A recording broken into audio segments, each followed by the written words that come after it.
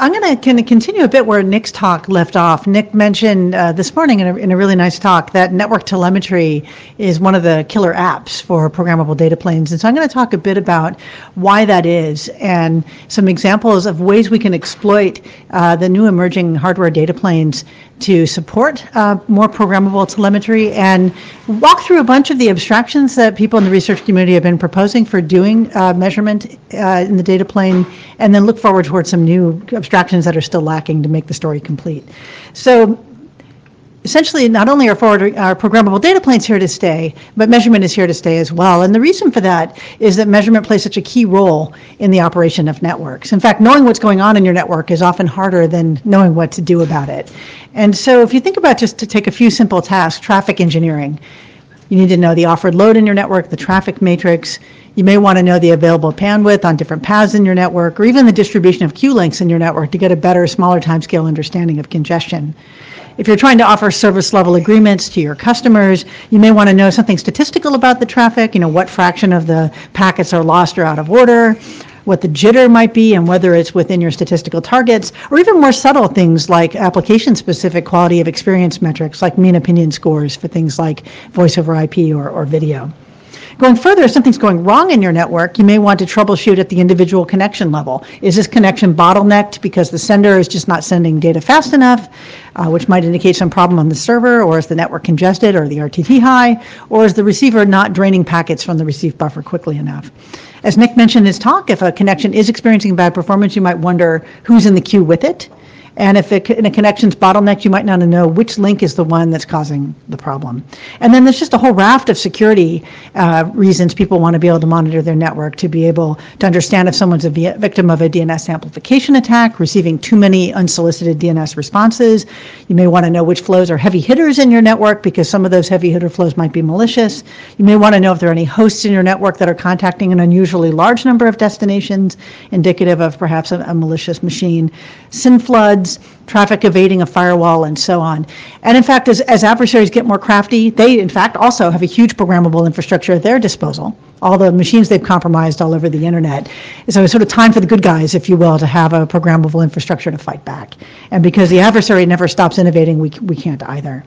So as Nick mentioned, the state of the art for network measurement is still pretty awful because it's tied to the capabilities of, of legacy equipment very coarse grained, very inflexible. You can get things like NetFlow and SFlow, but often with one in a thousand or one in 10,000 sampling with relatively limited control over how it's done. Or using things like ping and traceroute that add traffic to the network and only give you indirect information about what your actual traffic might really be experiencing. What we really need is the ability to collect fine-grained information specific to the task at hand and to be able to collect not only traffic statistics but also performance information. And that's exactly what these forwarding planes are, are allowing us to do. So this picture is very similar to the one Nick presented. I'm only going to highlight one thing a little differently than he did. Is flexible parsing that will allow us to extract the information that we really want out of the packets the ability to match packets in different ways after they've been parsed, to act on them in flexible ways.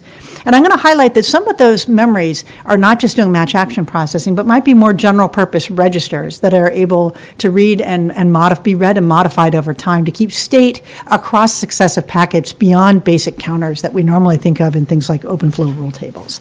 And then finally, that state can also be passed along from one stage of processing to the next and so on. So this gives us a really unique opportunity to customize the collection of data to the analysis task at hand, rather than resorting to really aggressive sampling and aggregation to collect data. And in fact, we actually kind of have to customize the data collection to the query because we have such limited uh, memory and computation in these devices that we really can't afford to collect everything and, and analyze it offline. So what we need then are a set of good abstractions for collecting measurement data from the network. And we need to balance this tension between wanting those abstractions to be sufficiently expressive to represent the kind of tasks I talked about in the first several slides, and yet amenable to being compiled down to this kind of unusual computational model that these programmable forwarding planes presents.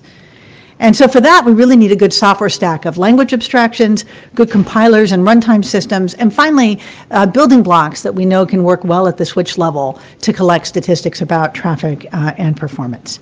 So what I'm going to do in the next part of the talk is kind of walk through a kind of a, a, review of a bunch of different papers in the literature that have proposed the beginnings of what these abstractions might look like and try to highlight a bit how each of them leverage in their compilation some of the capabilities of the emerging hardware. This is an incomplete story. The goal here is to, to provide sort of structure and framing to help, help guide further work that might bring all these pieces and more together into a really complete solution to this problem.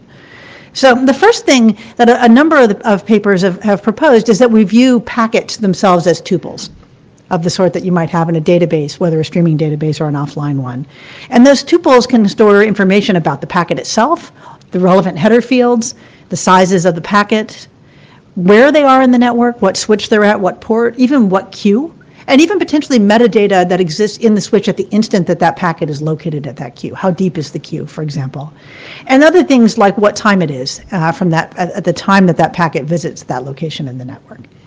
Once you have this stream of tuples, and in fact, it can be a flexible stream of tuples, because if you have programmable parsing, you can parse exactly the fields you need and, not, and nothing more and nothing less. And the metadata that these switches provide in line to packets as they're flowing through allow us to augment the, the tuples that come just from the packet itself with information about where and when that packet uh, visited a particular place in the switch. Going further, you can now take all that information and, and ask questions about it to filter down a particular set of packets you want to group together for the sake of measurement. So you can do Boolean predicates uh, over these tuple values. This is appealing because it avoids having to think about low-level rules. These match action tables are very powerful, but they really represent just a, a bit mask with wildcards on which to match packets. It's a very clumsy interface to, to programmers. So you could imagine, just as a really trivial example, I want to look at all traffic coming from a particular destination IP address with destination destination port 80, let's say web server traffic, or traffic coming from a particular source, that would take two different match action rules to represent because you can't really do an or in a single rule.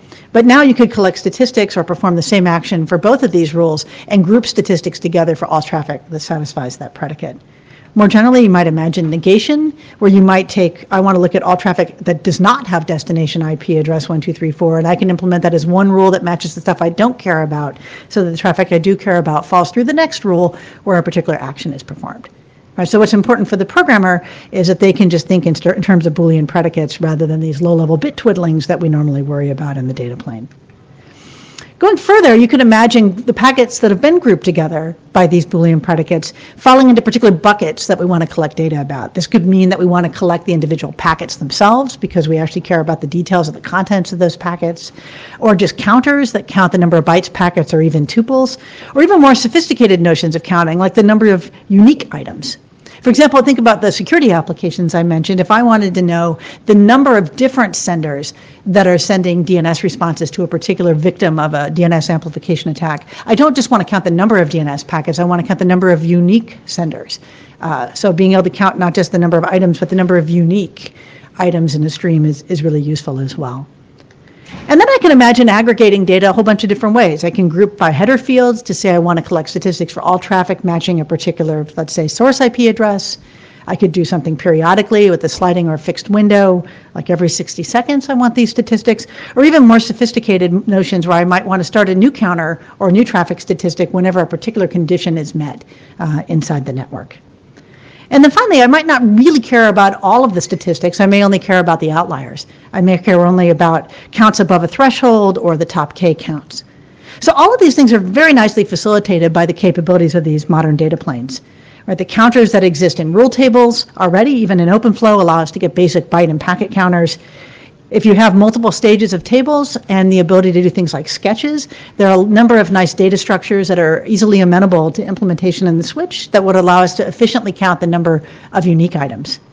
Going further, we can collect statistics on a, on a rapidly changing set of, let's say, source IP addresses by dynamically adding new rules to the switch as new sources manifest themselves.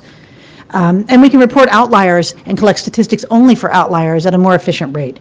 So if you might have 10,000 flows, but you only care about the top 10, you can keep state proportional to the 10 flows you care about, not the 10,000 flows that you don't. And there have been a number of works, many of them listed below, that have started to exploit those, observations to be able to answer, uh, answer queries more efficiently. Going further, a number of papers have proposed that often you don't care about individual switches in the network. You really want to analyze the network collectively, network wide. So people have talked about a sort of one big switch abstraction where you think of the network, uh, network fabric as just the internals of a single big switch that interconnects all the hosts in the network. Uh, this is appealing for a lot of tasks like measuring the traffic matrix, where you only care about the ingress egress traffic volumes and not what's going on in between, or you want a network wide view of denial of service attacks uh, or heavy hitters. And that involves the ability of having a collector or a controller that might grab the statistics from multiple locations in the network to aggregate them together. And in particular, this gets really interesting if you only want to do things like the heavy hitters. You want to be able to figure out what's heavy network wide rather than what's heavy locally uh, at each switch. But this is really just a special case of a more general point that you might want to ask questions about the path a traffic takes through the network. Caring only about where the traffic starts and where it ends is really just a degenerative case of more broadly wanting to ask questions about regular expressions over the paths that packets take through the network. And so here's a, a simple example. I might want to know about all traffic that has source port 80, web, web client traffic that it starts at switch 2 and uh, starts at switch 1 and ends at switch 2. I could imagine a more sophisticated query, maybe for security reasons. I want to know about all traffic in the network that doesn't go through a firewall. I've got one switch in the network where I'm enforcing my security policy, and there could be a whole bunch of paths through the network that don't go uh, through the firewall, and I want to make sure I know about traffic that manages to evade that firewall switch. In this case, if you look at the regular expression, I'm looking at a regular expression of switch not equal to firewall for every hop in a packet's journey means that this packet is suspect or somehow managed to evade my intended security policy. So this seems like a more complicated thing that might be hard to implement in the network, but again, these modern switches have capabilities to do exactly that. A regular expression can be very naturally encoded as a deterministic finite automata. This really simple example I mentioned at the beginning, you might start at an initial state, and if the first condition holds, transition to a second state, and then if the second condition can, holds after the first condition is held, you're now in an accepting state where you want to collect statistics about the traffic. And this can be very nicely mapped into these data planes by taking the state, Q0, Q1, Q2, and using it as a tag on the packets as they go from one hop to the next, and using the match action tables in each switch to implement the transitions from one state to the next. So a really simple example, if you were to look at switch one in this example, a packet that comes into switch one marked that in state Q0 uh, if it has source port equal to 80, the action would be to actually tag the packet with a new state that indicates its progress towards state Q1. You might imagine a similar kind of rule in the next switch depending on the conditions on the next arc. And so you can take a network-wide regular expression and distribute it as a collection of match action tables and packet metadata that can implement the semantics of a, of a network-wide regular expression. And, if, and in fact, another thing you can do that, that Nick alluded to already in his talk is as the packet traverses multiple hops in the network, you can actually aggregate statistics about what it's experiencing along its journey. This could be as simple as tagging the packet with information about the queues, the forwarding rules, uh, the latency, and so on that it experienced. But you can also do various forms of da data aggregation as the traffic goes through the network if those tags would otherwise get too big. So for example, what you might care about for a traffic engineering application is, let's say, the minimum available bandwidth on the path. So you know if this path is a suitable alternative to another path for, for future routing in which case, as the packet goes through the network, you might imagine accumulating the minimum of the available bandwidth seen at each hop in its journey. Similarly, you might care about total queuing delay as an in indication of the queuing experience a traffic experiences network wide. And again, you can sum that information up as the packets go through the network. That's appealing both because it allows you to actually aggregate the data to make the packet tags smaller, but perhaps more importantly, at the point you want to collect all the data, you have the single number you care about rather than a more complex computation that needs to be done. So that last switch in the journey now can aggregate statistics across many such packets that have taken many such paths to collect more interesting statistics uh, that group multiple packets together. So if you combine the ideas on the previous slide and the ideas on this one, you can group packets together based not only on their header fields, but the kinds of journeys they took through the network, and then aggregate their end-to-end statistics across one another uh, based on being able to tag the information in the packet. So a very powerful set of abstractions that really let us talk about network performance on groups of packets. Um, a paper that's going to be presented this week at SIGCOMM NetQRE looks also at regular expressions, but in a different way. Regular expressions across multiple packets, even at a single switch, to be able to ask more subtle questions about the experiences within a single connection or group of related connections. For example, you might say a TCP connection is a regular expression where a SYN packet is followed by zero or more non-SYN packets. And if you want to go further and analyze things like SYN flood attacks, you might look for incomplete handshakes How many flows start with a SYN, get a SYN ACK from the server, but never have a subsequent ACK packet or other data packets afterwards with sequence numbers that follow. That regular expression aggregated over many packets would allow you to study how many incomplete handshakes might be coming from a particular set of sources to a potential victim, allowing you to analyze and, and detect victims of SYN flood attacks. And you can imagine combining this with further ideas that the paper elaborates on to split streams, to be able to take a large application level flow and break it down to constituent components, and then also iterate within and between streams. Going further, I think this is starting to get into areas we don't really know how to handle very well. Uh, queries might naturally not talk about IP addresses, port numbers, uh, low level gray details like that, but instead higher level names like Netflix.com or the name of a tenant in a data center or even specific applications like Skype or Netflix, or types of applications like video. And finally, as, as the NetQRE paper gets out a bit as well, you might want to group related flows together to be able to ask questions about an application layer session uh, rather than a specific TCP connection. And there's some, some potential hooks here. In many cases, you either know the IP addresses of the services you care about, or you can parse the DNS packets as they go through the switch to be able to dynamically learn the mapping between names and the associated IP addresses. The nice thing about DNS being a single packet protocol is it is amenable to being uh, analyzed in these P4 switches. Uh, you can use DNS to help analyze application types and in fact even do more complex forms of application identification by looking at packet sizes and timings in the data plane and gradually infer what application a particular flow might correspond to. Uh, grouping related flows is a little more complicated, but you can certainly imagine grouping multiple T TCP connections between the same end host pairs and also looking at the timing of those connections to be able to infer that, that flows belong together. So the larger idea here is if we can further elevate the abstractions to what network operators actually care about, that their customers accessing applications they care about are getting the performance they need, then it becomes possible to take the burden off the network administrator of synthesizing that down to network level identifiers, let alone low level bit twiddling rules that we might put in the programmable data plane. So we've got a lot of building blocks that people have already identified that can run in data planes. I think there, there's a lot more to do here. Just the sort of five standard things I think people tend to do. One is filtering just using, let's say, rules in the data plane to match only on the packets of interest, like just DNS responses by looking at DNS traffic, uh, aggregating by some portion of the packet header field, sampling by computing a hash on some of the header fields, sketching to be able to, in, in a reasonable amount of space with some accuracy trade-offs, be able to get answers to, to questions that we care about.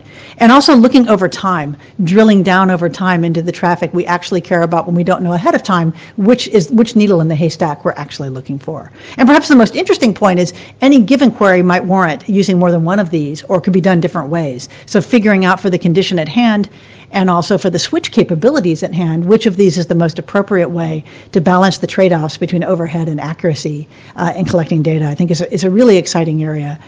And this just focuses on a single query. Imagine how much more complicated this gets if you have multiple queries coexisting and new ones coming and going over time, all needing to share the same resources in the data plane.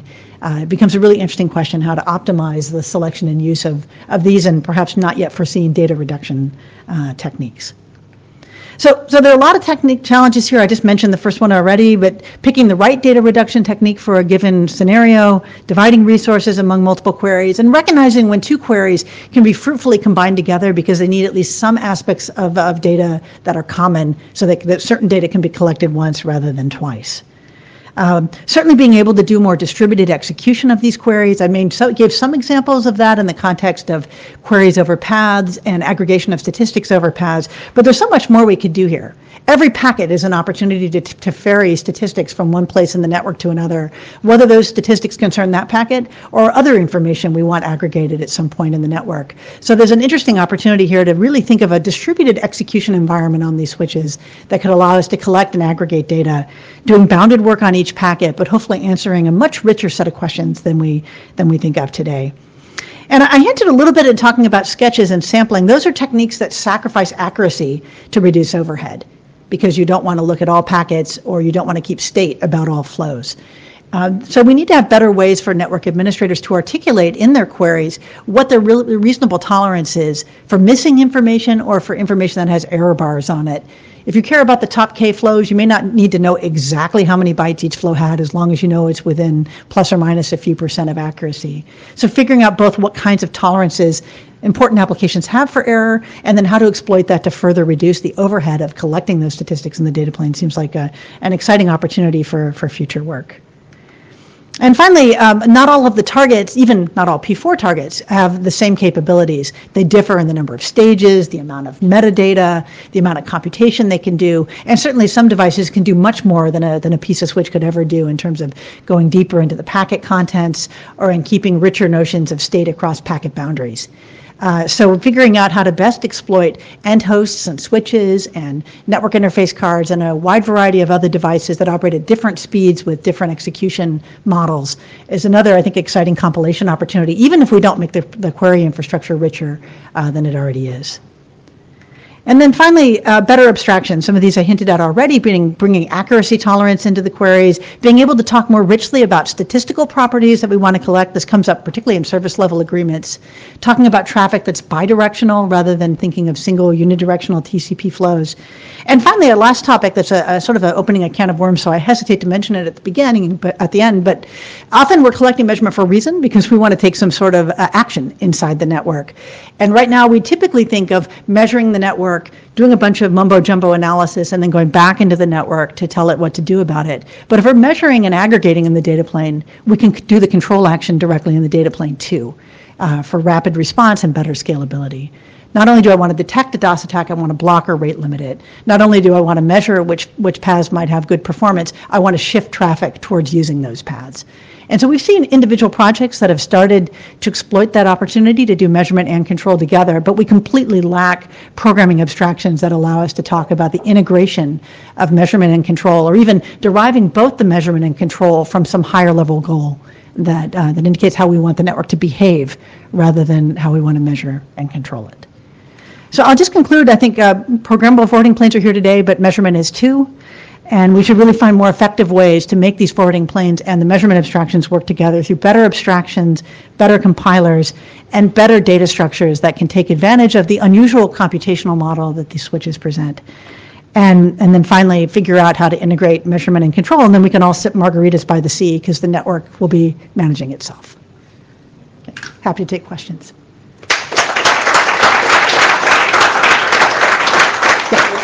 What is it that you cannot do currently and you want to do? Nick's question of somehow trying to find what other. Yeah, so what, what other packets are sharing the queue? I think like Nick's examples, most of them, correct me if I'm wrong, Nick, they, they involve tagging everything in the packet and then doing a lot of the analysis offline. I think that's appropriate, one, in a data center, because often the host that's receiving those tagged packets is under your control, so you have an opportunity to do the analytics there. Uh, but that wouldn't be the case in a service provider network necessarily, where you, where you may want to do the analysis as you go.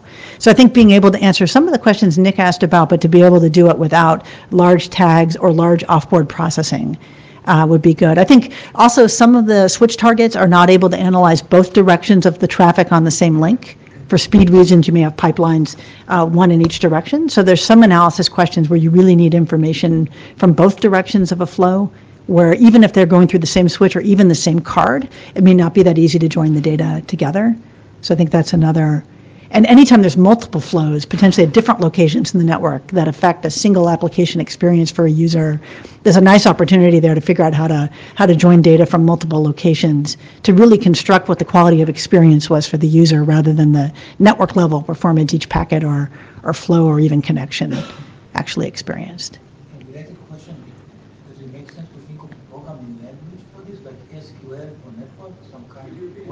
Oh, yeah, sorry. He's asking, is it useful to think of something like an SQL for, for networks?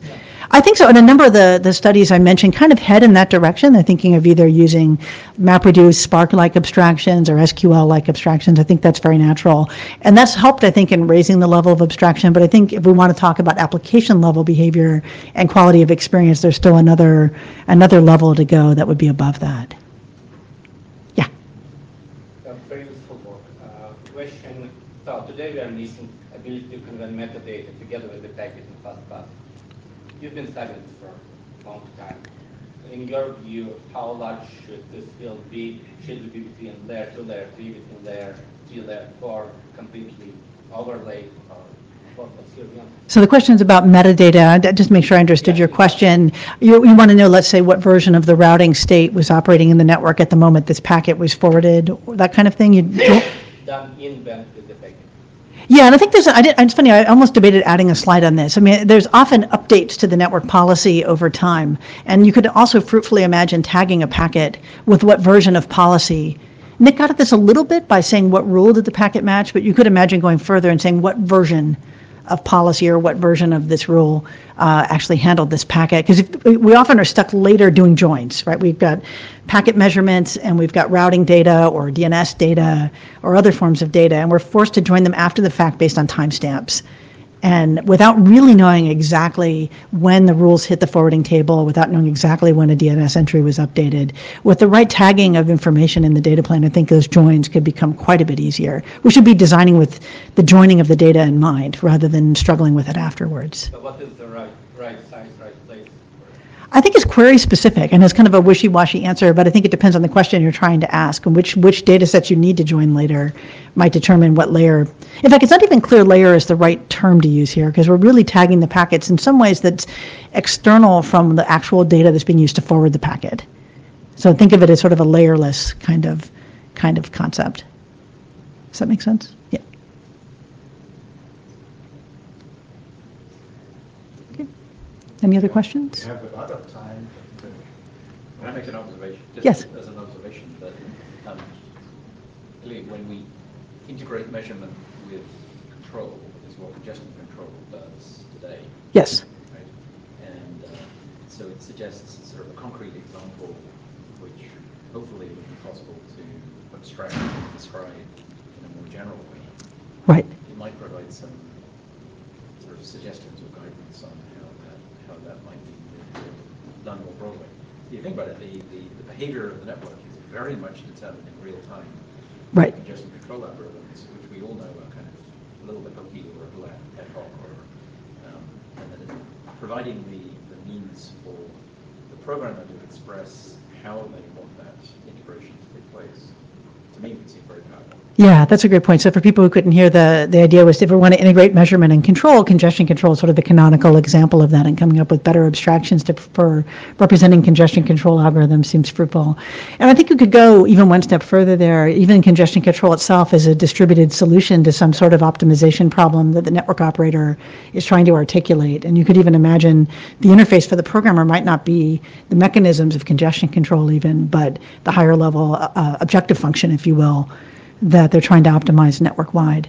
And that, that could be even interesting in a way. Maybe optimization theory is the programming language of the future, if you will. Particularly if we're doing resource allocation, it seems kind of natural. It's kind of weird our programming abstractions don't embed optimization in them in the first place, because that's actually what people are are trying to do. Yes, I think congestion control is one place to start. I think multipath load balancing or server load balancing, where you bring in now either server resources or path level properties for load balancing that takes congestion control one step further beyond a point to point connection to thinking about multiple paths or multiple servers. And then I think there are a bunch of security applications where, where uh, dynamically blocking or rate limiting uh, suspected DOS traffic seems like, it seems like a third.